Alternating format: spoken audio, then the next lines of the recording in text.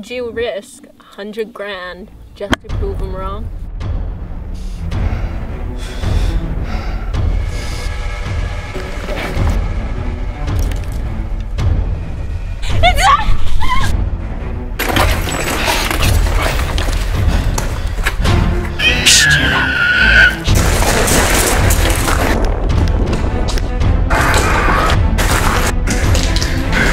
I think we lost it.